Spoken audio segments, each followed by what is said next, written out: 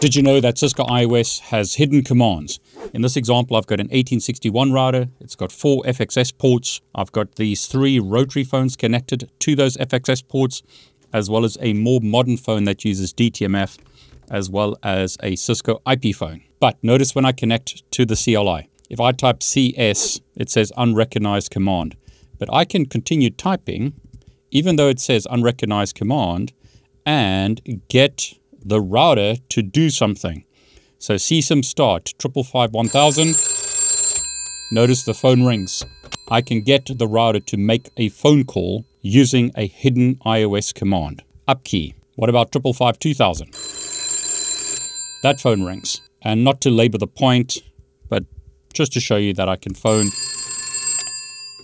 various phones, including hopefully this phone here. And there we go. I can phone that phone as well. So I've been able to make phone calls from the router CLI to these phones using hidden commands. Now on the router, I can see the voice ports and I'll show you in a moment how these phones were configured. But show voice port summary, we can see with that command that there are four FXS ports. These are the physical FXS ports over here. You can see that they on hook at the moment. We've also got FXO ports. Now, FXS ports or foreign exchange station ports basically act like a PBX or private branch exchange or like a central office or CO. So these ports provide power, dial tone, and other requirements for traditional phones to work.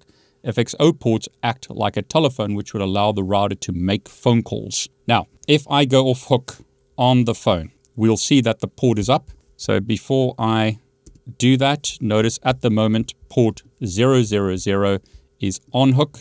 Go off hook now. Use the command again. Notice port is off hook. Put the handset down. Port is back on hook. If I use a debug command, such as debug VPM, and I'll just use signal here, we should be able to see what's happening. Go off hook. So notice we were off hook and now we're back on hook. So on this phone, I'll go off hook. You should be able to hear the dial tone. I have to dial fairly quickly, but notice if I dial 5, 5, 5, the digits are received by the router, and I'll dial 2, 0, 0, 0. Phone rings over here. The router is receiving the digits from the phone, and a call is set up. Here you can see the digits received from this phone. This is pulse dialing. So as an example, when I dial 1, it's 1 pulse, 2, 2 pulses, 0, 10 pulses. Very slow way of dialing.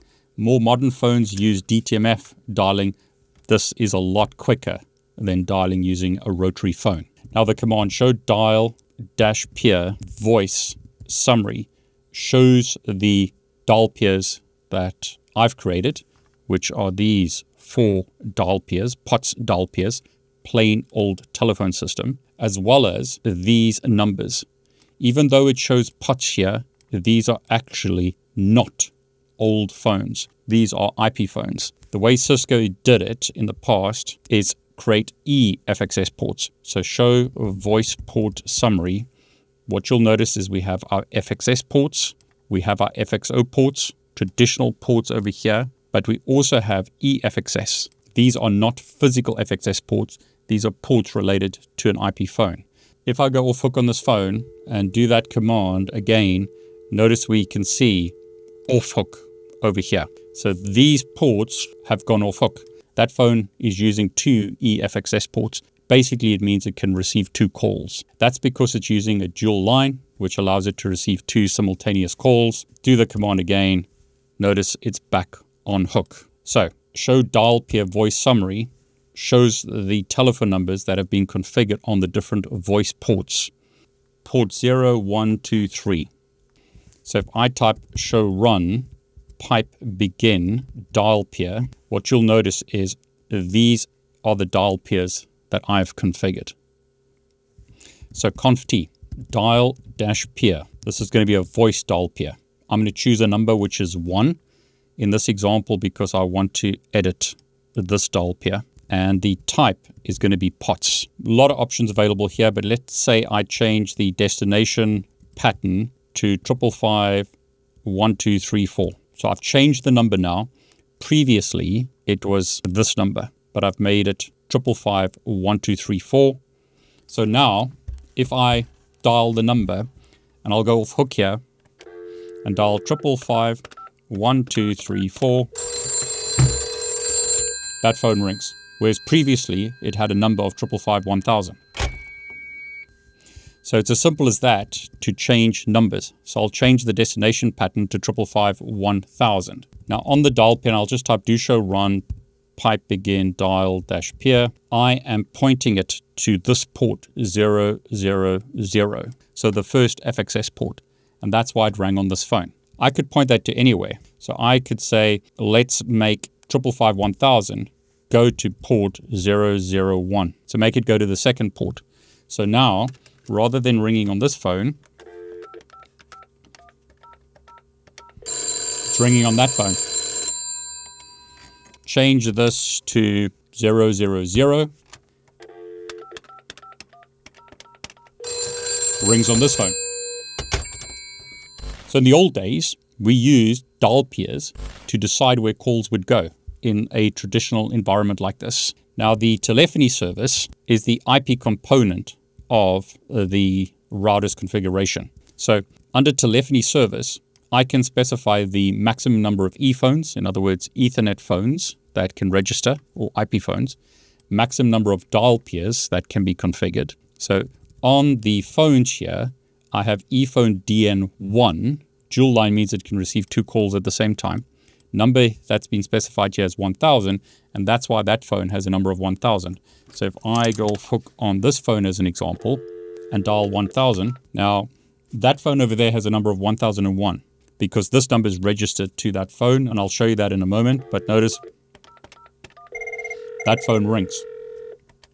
So this is how you specify telephone numbers, and that is registered. So ePhone DN2 is registered with a Ethernet phone. So scrolling down here, Ethernet phone 2, which is type 7940, has button 1 associated with telephone number 2 or ePhone DN2. So scrolling up, this telephone number on ePhone DN2 is associated with button 1 on that phone. So this phone has two buttons, button 1 and button 2. On this phone, button 1 has telephone number 2 or ePhone DN2 which has number 1001.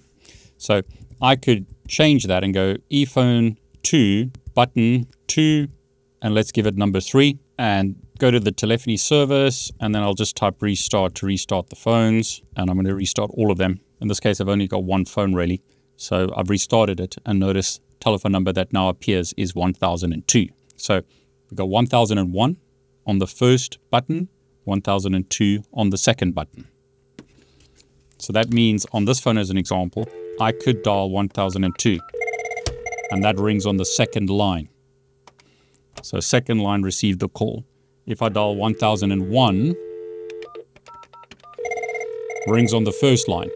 Now that was just a little bit of a taster of FXS ports and IP phones on this 1861 router. Do you want me to talk about these kind of phones in more detail and go into a lot of depth? Please let me know in the comments and I'll create more videos.